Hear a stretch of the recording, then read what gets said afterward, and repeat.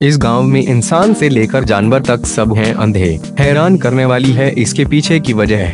दुनिया में ऐसी कई रहस्यमय जगहें हैं, जिनके बारे में जानकर लोग हैरान रह जाते हैं। एक ऐसा ही रहस्यमय गाँव है मेक्सिको में, जिसे अंधों का गाँव कहा जाए तो गलत नहीं होगा, क्योंकि यहाँ इंसानों से लेकर जानवर तक सब अंधे हो जाते हैं।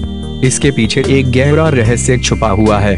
इस गाँव का नाम है टेलटेपक मीडिया रिपोर्ट्स के मुताबिक इस गाँव में जो पटेक जनजाति के लोग रहते हैं, कहते हैं कि यहाँ जन्म के समय बच्चे बिल्कुल ठीक होते हैं, लेकिन उसके कुछ दिनों के बाद ही उनकी आँखों की रोशनी चली जाती है, यानी वो अंधे हो जाते हैं। इस गाँव में रहने वाले लोग अपने अंधेपन के पीछे की वजह एक शापित पेड़ को मानते हैं। उनका मानना है कि लावजुएला नाम के एक पेड़ को देखने के बाद यहाँ इंसान से लेकर पशु पक्षी तक सब अंधे हो जाते हैं। हालाँकि वैज्ञानिकों का मानना है कि लोगों के अंधेपन के पीछे कोई पेड़ नहीं, बल्कि एक खतरनाक और जहरीली मक्खी है। खास किस्म की इस जहरीली मक्खी के काटने से ही लोगों के आँखों की रोशनी चली जाती है। इस गाँव में करीब सत्तर झोपड़ियाँ हैं, जिसमें करीब तीन सौ लोग रहते हैं। खास बात यह है कि यहाँ किसी भी घर में खिड़की नहीं होती।